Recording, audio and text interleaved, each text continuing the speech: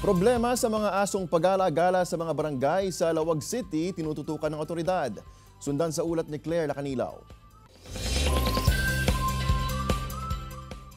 Nakagat ng pagala-galang aso ang 76 anyos na si Nancy Domingo sa Barangay Dibua, Lawag City. Aminado ang Barangay Council na problema nila ang mga pagala-gala at hindi pa nababakuna ang aso sa lugar.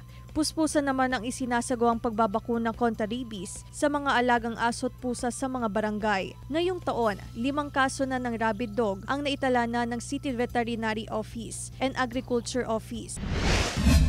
Aminado si Moises na nag-iipon siya ng tubig ulan na kanilang ginagamit sa palikuran. Pero hindi raw niya pinatatagal ang naipong tubig dahil maaaring pamahayan ng lamok. Mula January hanggang May 2023, nakapagtala ang Health Authority ng 59 dengue cases sa buong lalawigan. Bagamat bumaba ang kaso, pinangangambahan na muling pagtaas ng dengue cases ngayong tag-ulan.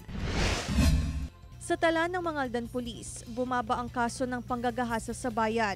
Simula Enero hanggang Mayo ngayong taon, umabot sa limang rape cases ang naitala, kumpara sa 12 na kaso ng panggagahasa noong nakarang taon sa parehong panahon. Kahit bumaba ang rape cases sa bayan, patuloy na pinaiigting ng otoridad ang pag-iikot sa mga barangay para sa information campaign. Hiniikayat nilang bawat barangay na mag-report sa kanilang himpilan ng anumang kaso ng pang-aabuso sa kanilang lugar. Claire Lacanilaw para sa Mornings with Jimmy Regional TV.